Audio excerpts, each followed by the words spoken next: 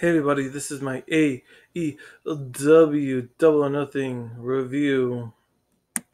So we had Brian Cage taking on Hangman Page. I gave that a 6 out of 10. Then we had Moxley and Eddie Kingston taking on the Young Bucks. I gave it a 7 out of 10. Then we had the Casino Battle Royale. I gave that a 6 out of 10. Then we had Cody Rhodes taking on Anthony Ogogo. I gave that a 5 out of 10. Then we had Miro taking on Lance Archer. I gave that a 6 out of 10. Then we had Shida taking on Britt Baker. I gave that a 6 out of 10.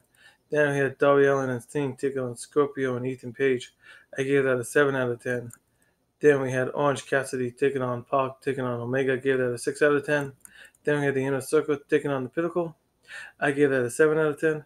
So overall, I'm giving this pay per view tonight a 7.5 out of 10. Make sure you hit that like button, subscribe, and hit that bell for notifications. Bye.